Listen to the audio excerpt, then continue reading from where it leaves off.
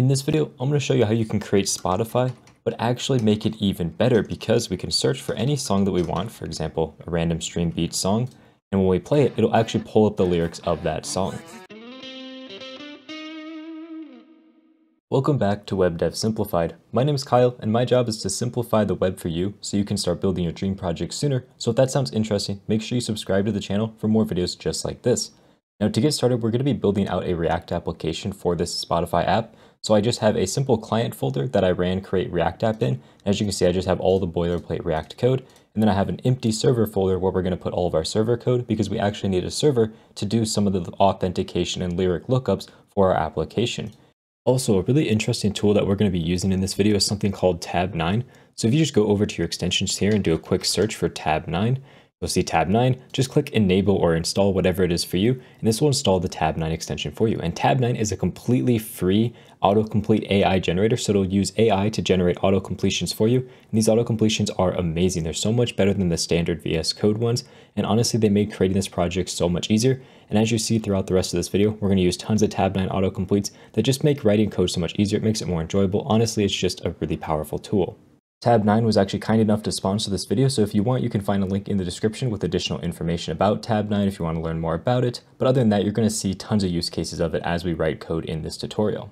So with that out of the way, let's actually talk about how this application is set up. We're actually going to be using the Spotify API for this application because Spotify has a huge list of music that we can search from and play, and that'll make getting started with this application easier. And then from there, we're going to tack on additional functionality for the libraries that we're going to use for finding the lyrics of each song because Spotify doesn't actually reveal lyrics to you, so we need to use other libraries for that. So if you just go to developer.spotify.com or just search Spotify developers, you'll get brought to this page and we need to go to the dashboard section. This is where you can view all of your different applications and just make sure that you are logged in. So let's just log in real quick and I'm already logged in, so it logged me in. And as you can see, we have the Spotify clone test. That was what the demo project I showed you was. That's what this is right here running. And then we can create a new app down here. So what you're gonna wanna do is just click on the create a new app button, give your name an app. We'll just call it Spotify clone, and then we'll give it a description. We'll just say Spotify, but better. There we go and then just check these marks, you know, essentially saying that you read terms of service and so on. And now you can create an application and you can view your client ID and you can also view the client secret if you click on this button. You can even edit settings about your application. And one important setting we're going to need to modify here is this redirect URIs. You're going to want to set this to the URL of your website. In our case, since we're just doing testing, we're going to set this to HTTP backslash backslash localhost 3000 because that is going to be the port and address where we're running our application for testing. But once you move past the testing phase, you're going to want to remove this redirect URI and actually set it to the real URI of your actual application. So once that's done, just click save. And that's pretty much all we need to do to set up our application on Spotify's end. And once you do that, it will essentially allow you to log in with Spotify. Because if I click this login with Spotify button, you can see it's going to bring me to this page here. This is the working version of the application. I just need to say that I agree to these terms and then it's going to redirect me to that redirect URL, which in our case is localhost 3000. And from here, we can start using our application as you saw in the demo at the beginning of this tutorial. But obviously we're not going to be using this version of our application. We're going to be building it from scratch. So let's just close out of that and go over to our client here where we can actually start up our application. So if we just open up a terminal and we cd into that client directory, we can run npm start, and that's going to start up the front end of our application, which is just a simple React application. Then if you just give that a little chance, it should start up and pop up over here. And we just have the boilerplate React code rendering for us over here, so nothing really crazy yet.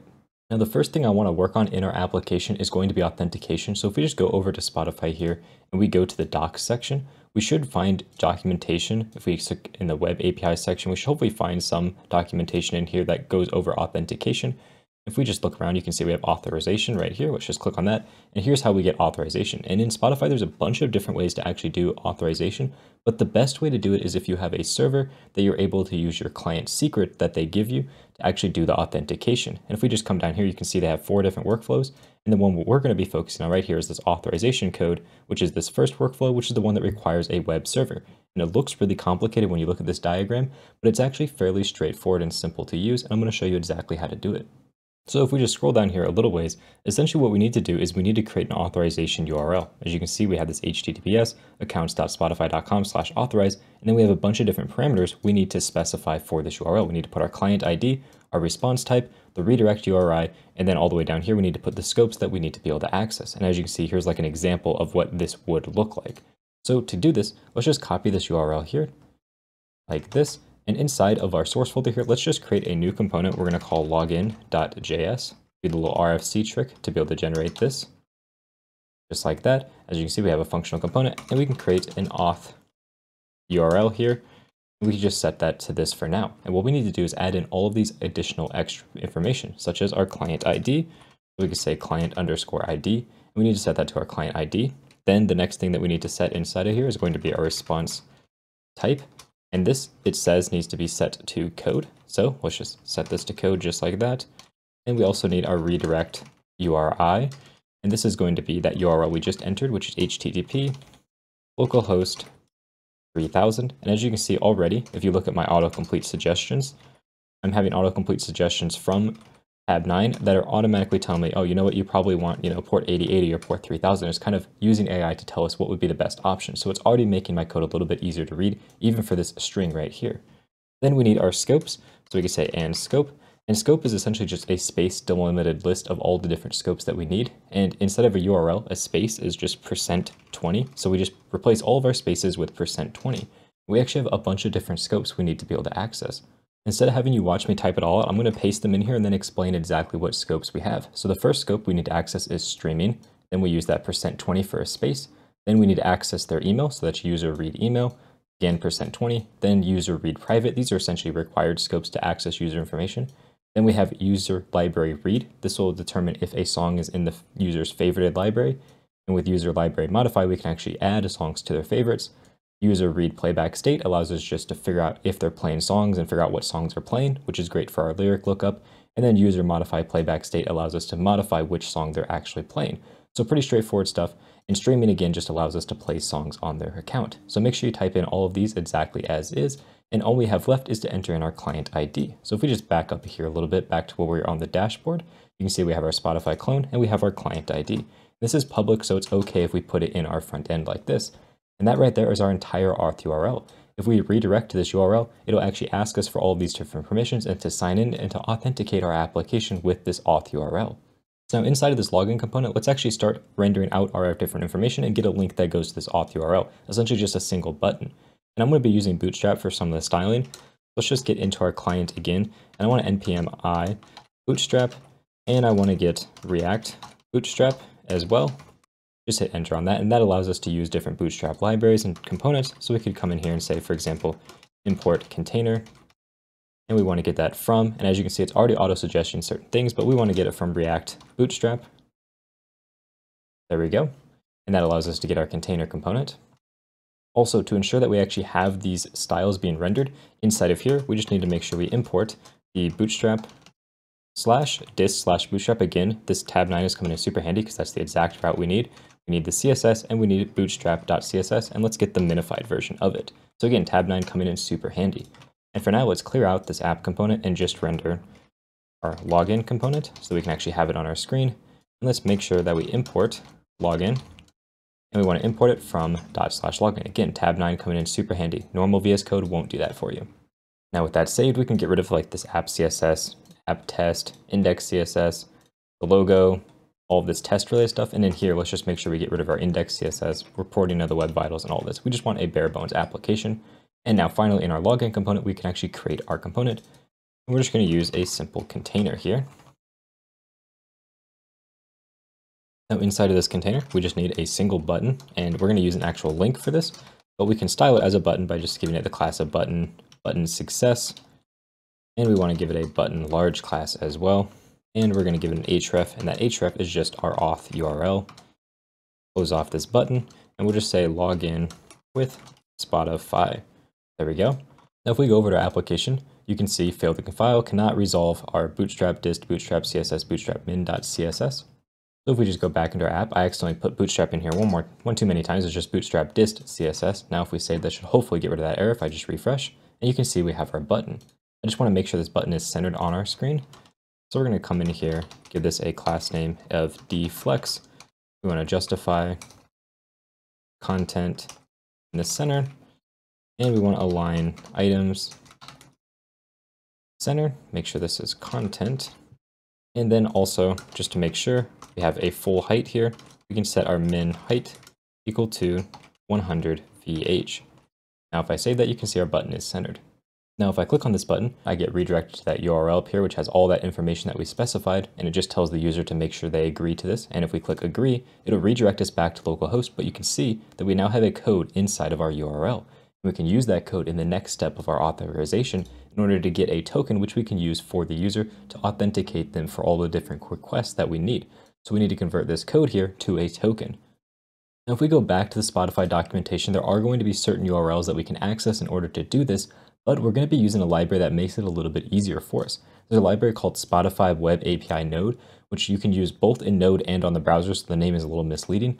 But essentially what this allows you to do is call the Spotify API in a much easier way. And as you can see, it has tons of different things that you can do inside of it. But the thing we're focused on is authentication, which is way down here in the documentation. We just keep scrolling all the way. We finally found the authorization section. And what we care about is right here, the section that essentially allows us to create an a code, we take our code and we can convert it into an access token and a refresh token, which allows us to actually authenticate the user.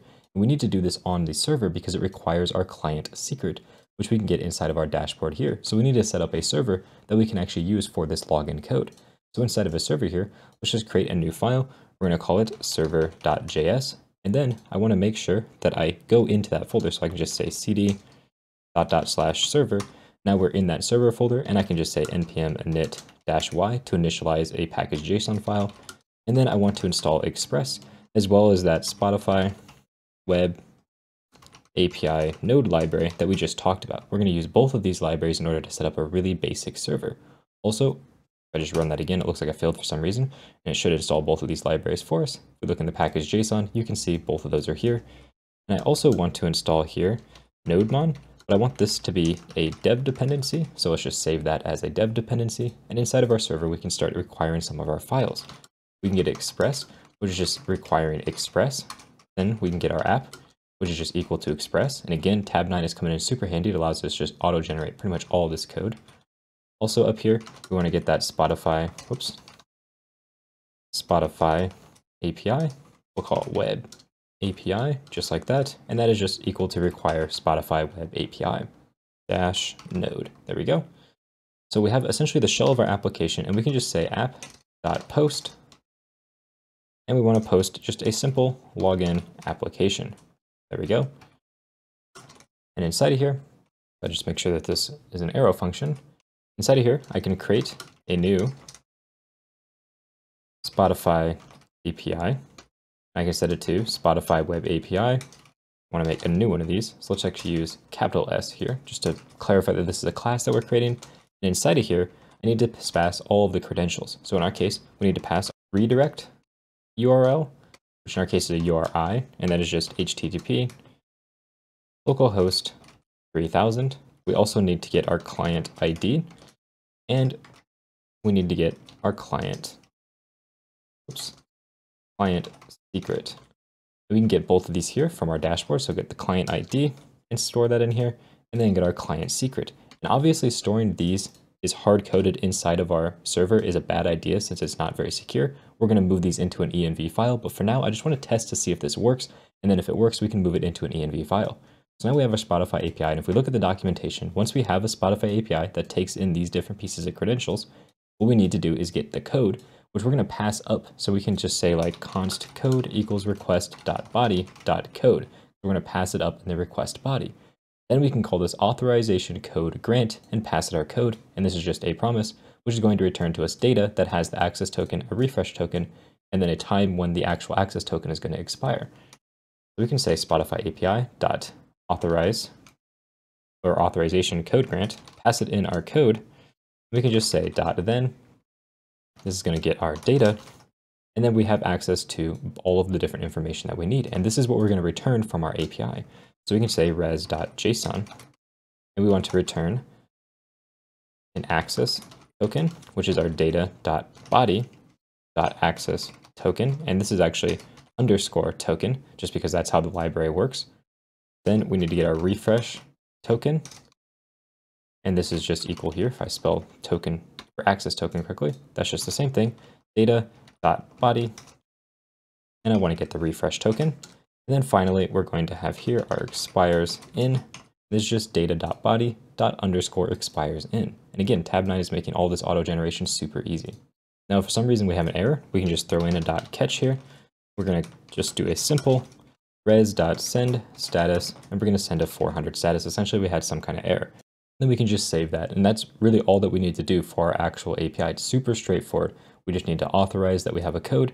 And once we do this authorization code, it's going to give us this access token and refresh token we need to actually do the accessing and refreshing of our authentication. And then we can just send down an error if for some reason we had a problem. Now, if we go back down into our application, you can see here we have our login. If we go over here, we have our code that's inside of our URL. So what I want to do is every time I access our page, I want to get this code from our URL. We can just do this outside the component. We can just say const code is equal to, if we use URL search params, we can pass it in our window.location.search, and this is essentially going to get the portion of our code after this question mark. And this is just going to give us an object that has all this information. So we can say dot .get code, and that's going to get us the URL param that is called code, which in our case is the one that we care about. And if we have a code, then we want to render a new component, which in our case, we're just going to call dashboard.js. And we'll just do a quick RFC here to get that dashboard generated up. And now inside of our app, let's import dashboard from dot slash dashboard. And now what we can do is we can say if we have a code, then we want to render out our dashboard and we want to pass it in the code that we have just like that. Otherwise, we want to render this login component. Now, as you can see, when I save, we're rendering that dashboard component. And if inside of here, I just rendered out our code, and I save, you're going to see our code is being printed out to the screen. So this is working as we would expect. Obviously, we don't want to print out this code, but this is a good start. Now, instead of putting all the logic for our login and authentication and refresh tokens in our dashboard, I want to create a custom hook that handles all this logic for us. We're just going to call it useauth.js. And we can just do that little RFC trick here. And we don't care about any divs being returned. We just care about this being a custom hook called useauth. Now with useauth, I'm going to pass in the code that we need. And what we're going to store inside of here is our access token, our refresh token, and our expires in. Essentially the three different things we're returning from our server when we log in. So I want to get state for all those. So I can say const access token. I want to get set access token and I set that equal to use state. And then I'm going to do the exact same thing, but I want to get for our refresh token.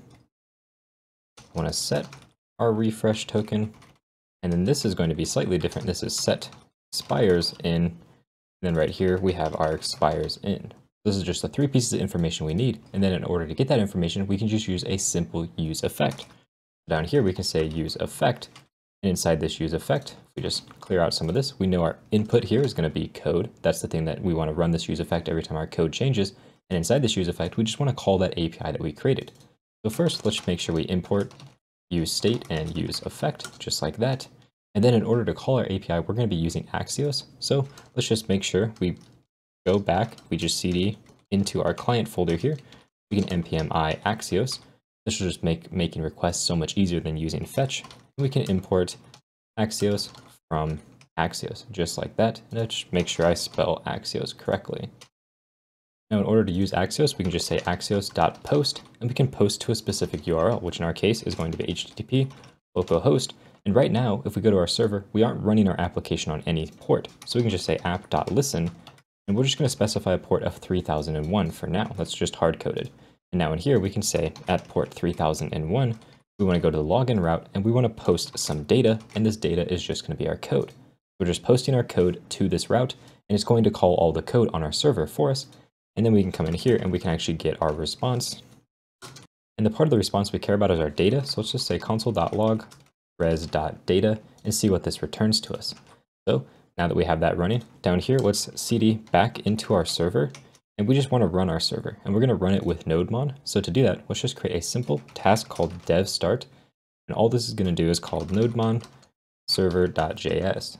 And now down here, we can say npm run dev start, and that should start up our server with NodeMon. As you can see, it started up down here.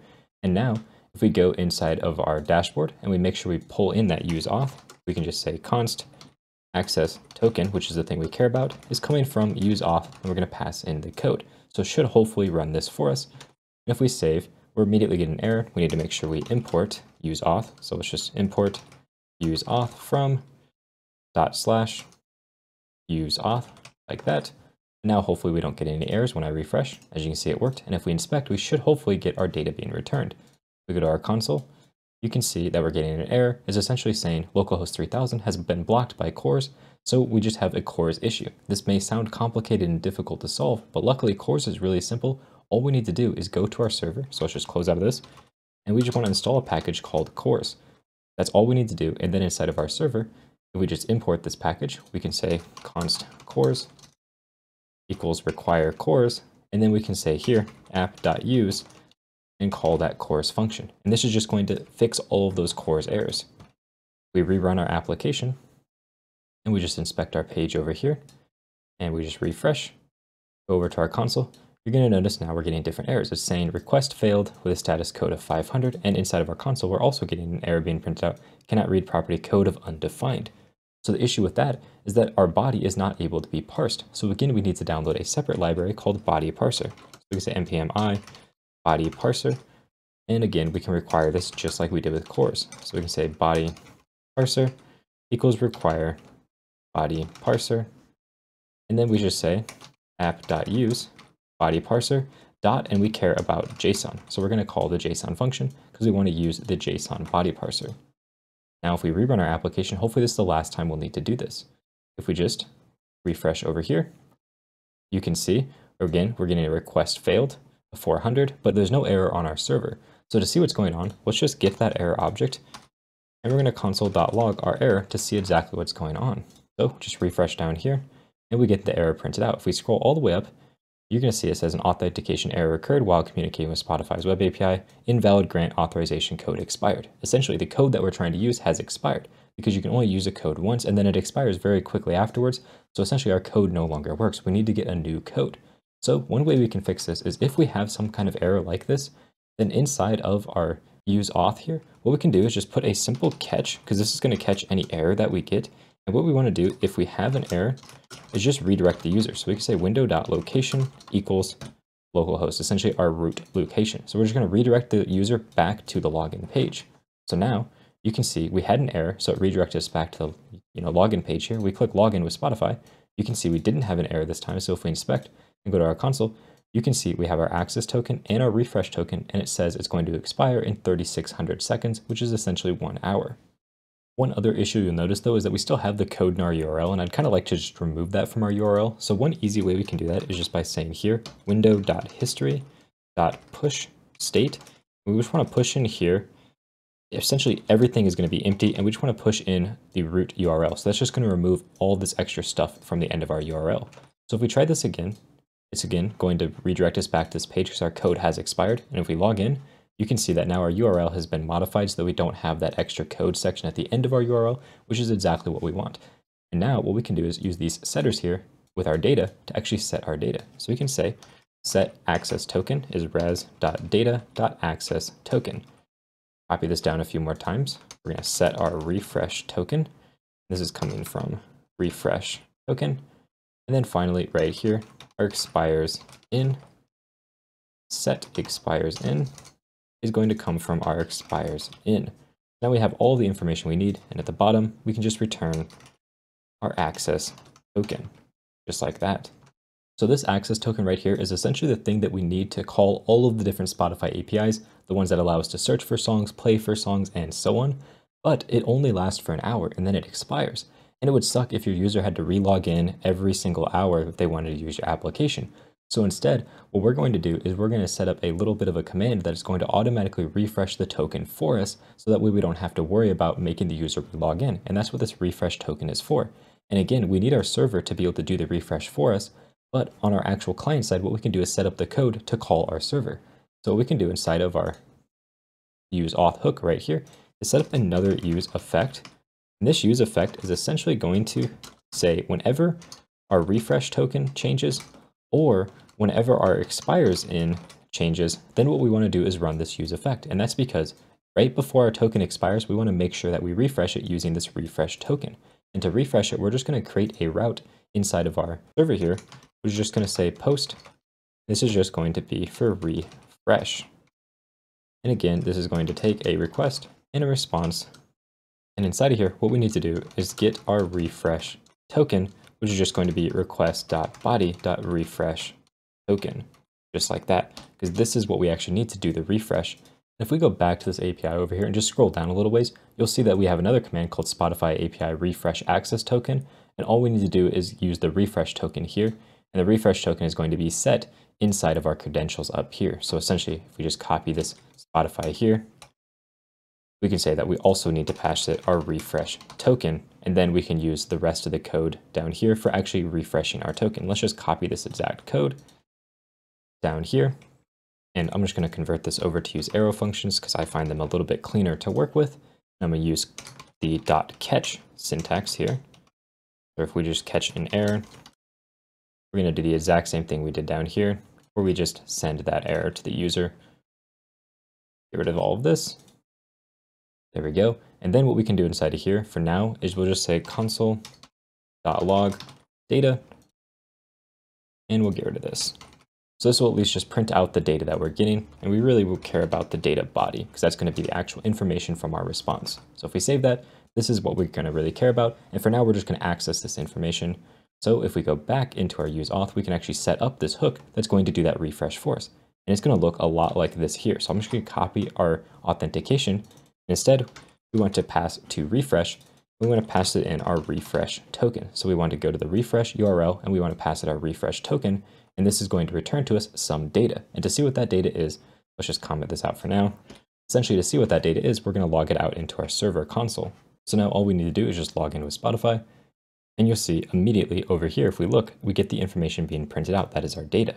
And our data has an expires in, it has an access token, and then a token type and a scope. And really all we care about is our access token and our expires in. So we can actually use that information and pass it down to our user. So back into our server, instead of just console logging our data, we can say res.json, and we want to pass it in the JSON that is our access token, which is our data.body.access token. And we want to get our expires in, which is just our data.body.expires in, just like that. This is the information we're passing down. And then inside of our useauth, we can get essentially the same information, but we only care about our access token and our expires in. So we've essentially just done the same thing that we did up here, but it's only for a refresh, which is why we're just getting an access token and the expires in. If we get a failure for some reason, again, we're just going to redirect the user.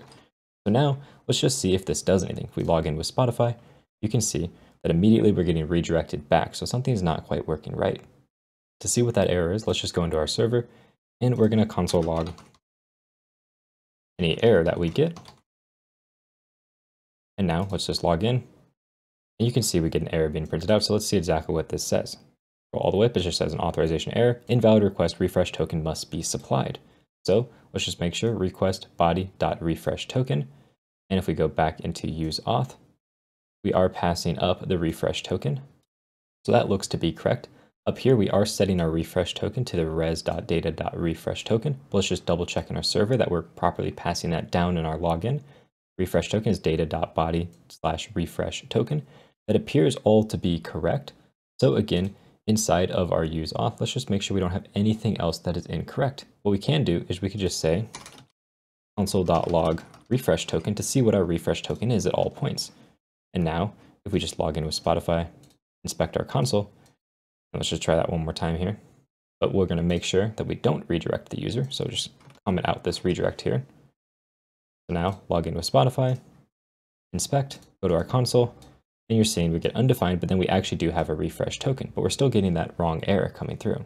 The next place to look is obviously going to be in our server. Let's just put this back to how we had it, get rid of this console log, because it looks like everything's correct on our application end. So inside of our server, what we want to do, find our slash refresh, which is right up here. We want to make sure our refresh token is actually something. So console.log refresh token, just like that. Now let's see if this actually prints out anything useful. If we just scroll up past the top of the error, you're going to see our refresh token is undefined. So clearly something is wrong with what is happening to our refresh token when it comes up to here. So I think I know what the problem is. If we go back into our use auth, our issue is actually here. For example, whenever our refresh token expires and changes, this gets ran, but it's actually running before we actually have a refresh token or expires in because it's running before this code finishes. So we just put in a simple check that says if refresh token, if we don't have one of those, or we don't have an expires in time, then I just want to return. I don't want to do anything. This should hopefully resolve the error. If we log in, you can see immediately we no longer have that error. If we go to inspect, in our console, we don't have any errors at all. And if we look inside of here, again, no errors. So this is working as expected. Now the only other step is essentially make sure that we only do this refresh right before our thing expires. So we can use a set timeout for that. So we can just say const timeout is equal to set timeout. And inside of our set timeout, we want to essentially do all of this code. So let's put it inside of our set timeout here. Just like that. And for our set timeout timer, essentially what we want to do is we want to take our expires in time and we want to essentially refresh this maybe one minute before it expires. So if we just subtract 60 seconds, that'll be one minute. And we multiply by 1,000 to convert this seconds to milliseconds. And that'll be our perfect timeout. Then down here, if we do have some kind of error, we just want to make sure we clear our timeout. So we can just return clear timeout, and we can pass it in our timeout, just like that. So this is just going to make sure that if for some reason our refresh token expires and changes before an actual refresh, we just make sure we clear the timeout so we don't use an incorrect refresh token. So now, hopefully, we don't actually have any calls to our API. We shouldn't get anything printed out down here. And as you can see, we don't because we're not actually refreshing. Now to check to make sure that this timeout works, let's set our refresh to something like 61 seconds. And since we're subtracting, 60 seconds, this will essentially refresh every one second. We're going to set this to 61 here. And right here, we're also going to set it to 61 just to see if this works. And if we save, we should hopefully see a bunch of things being printed out because every second we should do a refresh. So after one second of time, we should have something being printed out, but we don't. Let's just make sure if we inspect, we have no errors here, but it looks like nothing's going up to our server. If we go to our server, it looks like we're not even printing anything in here. So let's just try a console log that says hi to see if we actually are printing up to our server. And we'll just refresh over here real quick. So log in. And hopefully we should see hi getting printed out. And we get it printed out once, but we don't get it printed out anymore. The reason this is occurring is because our expires in and our refresh token are technically never refreshing, so the set timeout is only being run once. If we want to make sure we run this every single time our expires in time changes, we can change this to a set interval. Now this is going to run on an interval every single time essentially our expires in is about to change. And if at any point our refresh token or our expires in changes, then it's going to make sure that it actually does the refresh of this timeout for us. So now let's just make sure we change this to a clear interval. We're going to call this timeout variable interval. Let's just copy this up to here. And now if we just click login here, we should see hi being printed out once every second. And as you can see, it's printing out once every second. It's continuing to print out. A little hard to see, but if I make this a little larger, you can see that it's continually printing out once every single second. So let's just bring this back down here and let's make sure we change this to our res.data.expires in so that this section works. And up here, same thing, res.data.expires in. So essentially that's all of our authorization code taken care of for us. We have refreshing happen automatically in the background for us. We also have here that our token is being created for us immediately. So in our dashboard, we have access to that access token. And the great part is all of that confusing and convoluted code is hidden away in this use auth hook, so we don't even have to think about it when we're working with our dashboard. Now the next thing that I want to focus on is essentially the search bar that's going to show up at the top of our page. So when we're logged in, we'll have a search bar up here. So first, I'm going to wrap everything inside of a container. Let's just do a container here. Let's just make sure we import container. We're going to get that from React Bootstrap. And also, while we're at it, we're going to import form because we're going to need a form. And speaking of that form, let's just come in here and get a form dot control, the type of search. This is going to be for our search section. We're also going to give it a placeholder value. This is just going to say search songs slash artists. And also we're going to give it a value. And this value is going to be a variable called search, which we're going to create and it's just going to be some state. So on our on change, what we can do is we can say e, we can set our search based on that e dot target dot value. That's all it really takes to create that. And up here, we're just getting an error that says we didn't finish off our string. So now if we save, everything looks like it's working. We just don't have those variables created. So let's import, use state up here, and we're going to get our search and our set search and those are going to be equal to use state. And by default, we'll just make it an empty string. So if we save, we can see, we log in, that we now have that search bar at the top. Let's add a few little styles to our container to make our styling a little bit better. We're going to, of course, make it a flexbox container, and we're going to style everything in the flex column direction, so it's vertical, and we'll put some padding on the top and bottom of 2. Also, something I'm going to do preemptively is just set our height here to 100 VH for our container, And the reason that I'm doing that is because the actual player we want to put at the very bottom of our screen, and we want to put all of the songs that are searched for or the lyrics in the very middle, and those are going to take up all of the rest of the spot. We can create a simple div here with a class name of flex grow one, and this is essentially going to grow to fill all of the available space. We're also going to put some margin on the top and bottom, and this is where all the songs or lyrics are going to go. And to make sure that this is a scrollable section, we're going to set the style here to be overflow y of auto. That way it'll scroll if it needs to. And this is where essentially our songs are going to go. If we log in here, you can see this is our songs section. And at the bottom, whatever we put down here, we just create a div called bottom. It should show up at the very bottom of our page. As you can see, this text bottom is at the very bottom of our page. So now in order to use the Spotify API, we're actually going to use the same library we used on the server. So let's create a new terminal tab here, cd into our client. I'm going to npm i that Spotify web API node. And even though it's called Spotify Web API node, it's actually usable within the browser. So if once we have this created, we can actually import this. So we can say import Spotify Web API from Spotify Web API node. And we can just say const Spotify API equals new Spotify Web API. We again need to pass it in parameters. So in our case, our client ID and our client ID we can just copy from here. Just like that. Now also, in order to do all the searching and stuff, we're going to need to set up a few use effects. So let's import use effect. And then within here, we'll create a use effect. And this first use effect is going to be whenever our access token changes, we need to make sure we set our access token on our Spotify API. So we can say Spotify API.set access token and pass in our access token. And we want to make sure, first of all, that we have an access token so if we don't have one, we're going to return. So if we don't have one, we return. Otherwise, we're going to set it on our Spotify API to use that access token for all of our further queries. That way we don't have to specify it every time we try to make a query. Just go back to our app over here. And now we can actually set up our use effect, which is going to be for searching. So every single time that our search query changes, or whenever our access token changes, we want to make sure we rerun this code. And to save our search, we're going to get a state called search results. And we're going to set search results, and we're just going to set this to an empty array. So now, if we don't have a search, then what we want to do is just return here, and we want to set our search results equal to an empty array. Because if we don't have any search, essentially, we don't have anything to search for, so we're going to empty out our search results. Also, if we don't have an access token yet, we want to just return again because we don't want to query anything if we don't have an access token. So let's just make sure we return and then finally, what we can do is actually do the search query. So I can say Spotify API, and what I want to do is search tracks. And what this is going to do is we can pass in our search, which in our case is our search term, and this will search any tracks on Spotify based on artist name, album name, track name, and so on. It uses a bunch of different criteria based on this search term. And this just as a promise, so we can say dot then, and we're going to get our response.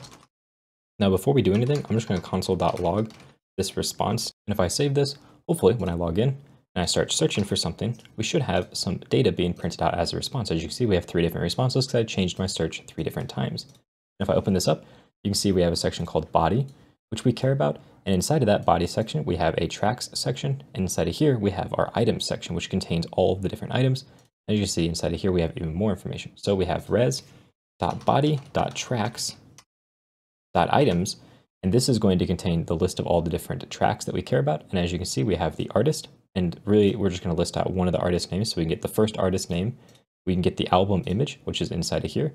And also on top of that, we can get the name of the track right here. So we want to get the name, we want to get the URI so we can play it, we want to get the album art, and we want to get the artist name. So let's just do a simple map over this to get all that information. We can say res.body.tracks.items.map, and we're going to map through each one of the tracks. Now for each track, we just want to return down here we want to get the artist name. So we're going to just say artist name. Actually, we'll just call it artist. And that is just track dot artists.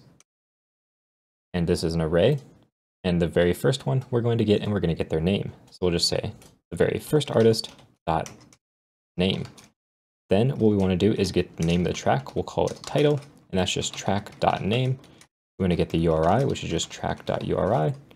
Then of course we want to get the album URL, This album URL is going to be a little bit trickier, but if we come into this album section, we have an images array. So we can say track dot album URL dot images. And essentially what we want to do is get the smallest one. And we're not going to know exactly which one the smallest one is. So we're going to write a little bit of code to do that for us. We say const smallest album image. And this is just going to take our track dot album dot images right here, and we want to reduce this down to one value. So we're going to take our smallest, and we're going to take the current image, and all we want to do is if image dot height is less than our smallest dot height, because if we look here, we have a height property on all of our different images, then we want to return the current image. Otherwise, what we want to do is we want to return the smallest. And then to populate the very first value, we're just going to get the first image as the starting point. So we'll just say here, track album images of zero. So essentially all that this is doing right here, we just expand this out so it's a little easier to read, is we're just saying, okay, what we want to do is loop through all of our images, and at any point, if the current image is smaller than the smallest, we're going to set that as our new smallest image. And now we can take our smallest album image, and we can get the URI, I think is what it's called. If we just open up our console again, we can be 100% sure. Go into our console, go into our album, images, and it's actually URL. So let's just make sure we set that as URL. And this information we want to just set for our search results. So set search results equal to the return of this. Now, if we save this, hopefully we should have this search results variable being set, and we can just console.log search results up here to see exactly what's happening. And of course, we're already getting errors, and it just says right here, unexpected token expected comma. And that's just down here. It looks like I'm missing some parentheses in place. I think this is just an extra parenthesis right here. And instead, that parenthesis should be right there. There we go, that cleaned up our code for us. We don't have anything being printed out, so if we log in, you can see we have empty array, and when I start searching, you can see we now have items being populated in there. And as you can see, we have an album URL, an artist, a title, and the URI to actually play the song. That's all the information that we need about each one of our tracks. And every single time I type something, it prints out a new list. But there's one slight problem with this, is that some of these requests may take slightly longer, some may come back quicker. So what we want to do is every time we change our search or access token, we want to cancel this request. There's really no super good way to cancel our request. So instead what we're going to do is we're just going to create a simple variable called cancel. We're going to set it equal to false. We're going to do this all the way up here before we make our API request. Then inside of here, if cancel is equal to true, I just want to return. I don't want to do anything. And finally, when we come down here, all the way at the bottom, we can return, and inside of here, we can just set cancel equal true. What this is going to do is essentially going to say, okay, make the request, and if a new request is made in this time period, we're going to set the cancel for the previous request to true, which inside of here will actually cancel that request for us. And we can actually see this by if we inspect our page, go to our console, we shouldn't have this being printed out a bunch of times. So I can type a bunch of different times, and you can see it still prints out empty, but as soon as I stop typing, then it'll actually do the request for us, of course, there's no songs with that title, but if I do a little bit less typing and stop, again, note songs, we'll just try a little bit less typing and stop, you can see that there's five songs that have that, but it immediately did those five results and it didn't do any of the other results. And now if I delete a bunch of things, do that again, you can see immediately it did just the printing out once because it only did the query one time where it actually didn't have cancel set to true. And that's just because every time I typed a new character, it came in before this set search results executed, which made sure that the cancel was set to true for the previous one, so it never actually set the results until I finished typing. So now let's just get rid of this console log so we don't pollute things, and what I want to do is actually take those search results and display them down here where it says songs. So to do that, let's just take our search results, map over them. So we have a track for each one of these, and essentially all that I want to do is that I want to return a new component, and this component, we're just going to call it a track result, actually we'll call it a track search result. In this track search result, we're going to pass it in our track, obviously. That's all the information we need. It needs to have a key, which we're going to set to our track URI. That's always going to be unique. And then we're just going to close this off for now. This is our track search result, and let's create that component. Track search result.js. Little RFC trick to get that generated, and there we go. Import track search result from track search result. Make sure this is capital right there, and make sure this is spelled correctly. There we go, we're getting our track search result imported. So now if we log in here, hopefully everything is going to work. If we search, nothing's going to show up here, and that's just because our track search result right now doesn't do anything. So let's make sure we get our track in here. And then what I want to do is just style out this div. So the very first thing I'm going to do is just come in here with a simple class name. I want to make this a flex container, set a little bit of margin around it so that it's spaced out from all the other rows. And we're going to align all the items in this to be in the center. Then inside of this div, I want to essentially have an image where the source of that image is going to be equal to our track dot album URL. That's the URL that we got. And I want to make sure here that I specify some styles so that it never gets too big. So our height is going to be 64 pixels and our width is going to be here, 64 pixels. Make sure we put a comment in there and close off our image. Now, if we just search, you can see immediately we have our images being rendered, which is perfect. Next thing I want to do is actually render out the title of our song. So we can put this inside of another div, and we just want to make sure we space it out a little bit. So we'll say class name, margin on the left is 3. That's just going to space it out from our album. And then we can get a div that has our actual track title. So track.title. Now if I save, you can see it prints out the name of the track. And I also want to print out the name of the artist. And this is just going to change the text color to be muted. That way it's a little bit lighter gray. And this is the track.artist. Now if I save, you can see we have the artist down here and we have the track name up here. Now the final thing that I want to be able to do is whenever I click on one of these tracks, I want to play it. So first of all, inside of some styles here, I want to change my cursor to be pointer. And this just, whenever I hover over one of these rows, gives me the icon that says that I can actually click on it. And also, I want to set up an on click that is going to do something like handle play, because we want to play that song. And inside that function handle play, what we need to do is just do a little bit of code that chooses our track for us. So we're going to take in something here called choose track. then here we're just going to call choose track with our track. That's all that we're going to do. And this choose track function is a function we're going to create in a little bit. But now whenever we click on one of these, it'll call this choose track function for us. So we need to create that choose track and figure out how we can actually play our Spotify songs.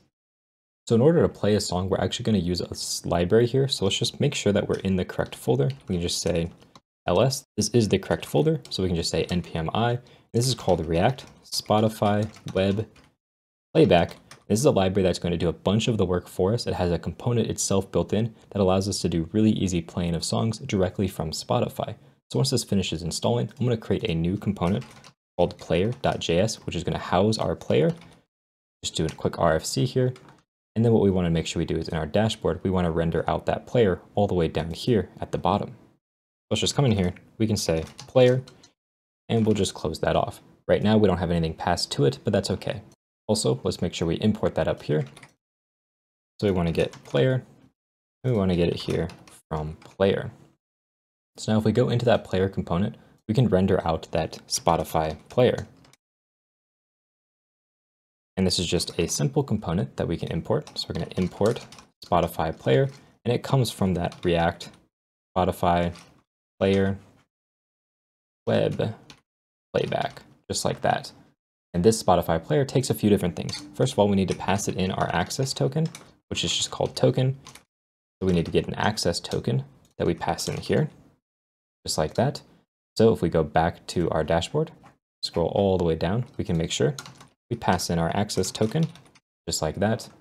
Then back into our player, we need to specify a show save icon. This is just going to allow us to save songs to our Spotify library. And then we specify the URIs of the songs that we want to play. So we want to pass in the track URI for the track that we want to play. And inside of here, we're just going to check. If we have a song to play, then we're going to pass it into an array called track URI here. Otherwise, we're going to pass it an empty array because we don't have any songs to play, because this always expects an array to be passed into it. Now, lastly, what I want to do is I just want to make sure that if we don't have an access token, that I return null up here, because we don't actually want to render a player if we don't have an access token to use with it. Now, if I save, I log in, we should have a player show up at the bottom. As you can see, it just loaded in, and this is the player that we have. Now we just need to make sure we pass in our track URI. If I go into our dashboard here, this is pretty simple. Our track URI is just going to be equal to whatever song we currently select. But right now we don't have any songs being selected, so we need to store that in some type of state. So let's just create a new state. We're going to call this one playing track and set playing track. And for now, this is just going to be nothing, so let's clear it out. And make sure here I spell set correctly. And then we just want to create a simple function called choose track. And this choose track function is going to take a track. It's going to set our playing track. Oops, set playing track to our track. We also want to make sure we clear out our search term because we don't want our search to be there at all. So we're just going to clear out our search once we choose a track, just like that. And now this choose track is something we can pass in to our track search results, just like this. And if you remember, inside that track search result, we're using that choose track here and passing it the track we want to play. So then down here, we can take our playing track and we can get the URI if it exists. So if we have a playing track, it's going to get the URI for us. So now what we can do is just wait here, log in, type something in, for example, stream beats, and we can click on this and it's going to play it. But you'll notice it doesn't actually play it. And that's because we first need to click the play button down here and then it's going to start playing. That's a little bit clunky in my opinion, so we can actually work around this because this player has a play built into it. And you could think, oh, we'll just set this to true and it'll work. But we actually need to make sure we set this to true after we change our song. Otherwise, it won't actually work. We need to make sure it sets to true after we select a song. To do this is actually super simple. We can just create a really simple state for play and set play, set it equal to use state, and by default, it's going to be set to false. And then we can use a simple use effect and all this use effect is going to do is set play to be equal to true every time that we change our track URI. Then in order to unset our play to true, essentially set it to false when we're done playing, all we need to do is use a callback property here. This callback takes a function, and this function has some state, and the state will tell us if we're playing or not. So if we're not playing, then what we want to do is just set our play to false. And essentially this state is playing. This is going to occur every time the state changes. So every time our song changes, every time our song finishes, starts, and so on, this callback is going to be called. So every time that we're not playing, it's going to set our play to false for us. And then here, we just pass in our play. So now, we just make sure we import use state and use effect.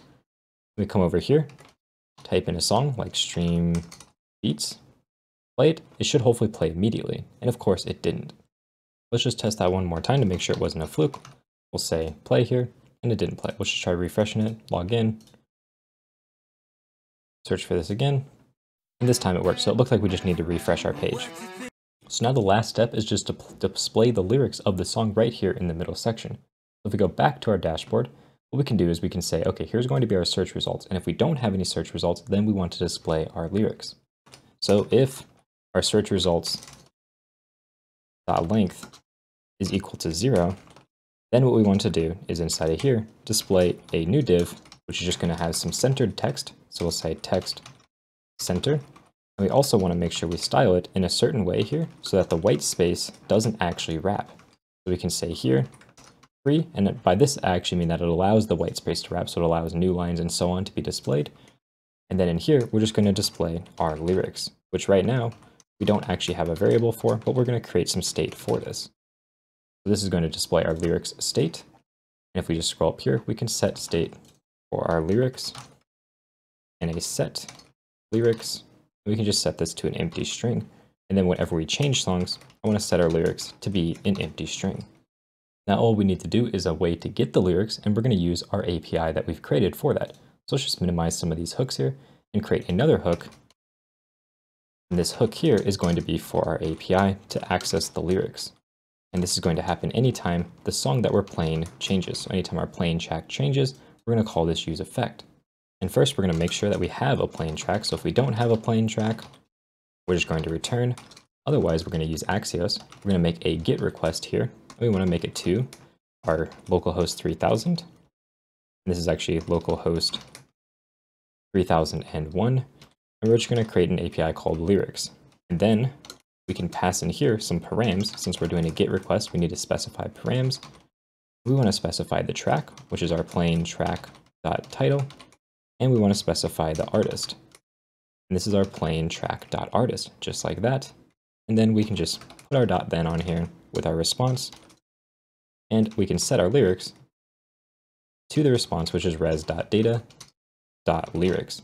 And now all we need to do is essentially specify the API for this route here. So if we just save this and we go back into our server here, we need to download a new library to do our lyrics. So let's just cd into our server here, and npm i a library called lyrics finder. This is a super simple library. It takes a track name and an artist and is going to get your lyrics for you. So we can say here const lyrics finder equals require lyrics finder, and then we can just create a new app route. app.get slash lyrics, and we want to get request response. And we're just going to make this a simple async function here, so it's really easy to work with.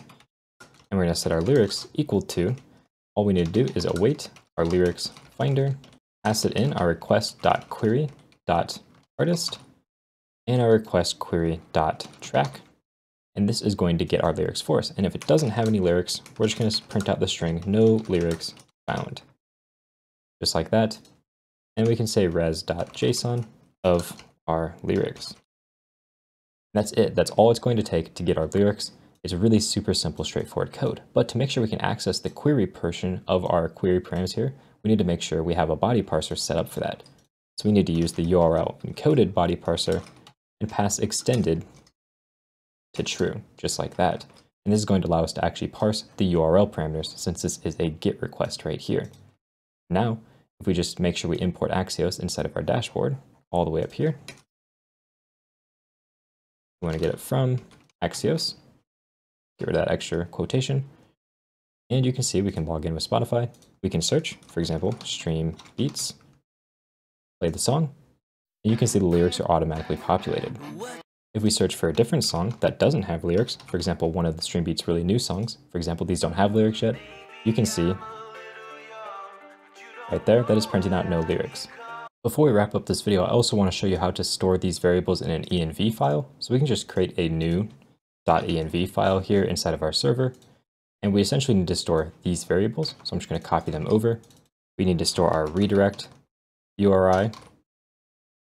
We need to store our client ID and our client secret. We can just use equals here, get rid of all the spacing, extra punctuation. Same thing here. Get these tabbed in the right place. And that stores them inside of this env file. Then what we can do is we can just cd into that server folder we can npm i dotenv, which is just a simple library we can use to access this env folder. And inside of here, at the very top, before everything else, we can say const require, or I'm not even not const, we can just say require dot env dot config. That is going to load in our env variables. Then here we can just say process dot env dot, and then all those variables we created, such as redirect URI. We do the exact same thing right here with our client ID. And then we want to get our client secret as well. Client secret. Just like that. And let's just copy these down here. Paste those in place. Get rid of this console log, and that works just as well. And that's all it takes to create this Spotify inspired clone. If you enjoyed this video, make sure to check out my other clone related videos linked over here and subscribe to the channel for more videos just like this. Thank you very much for watching and have a good day.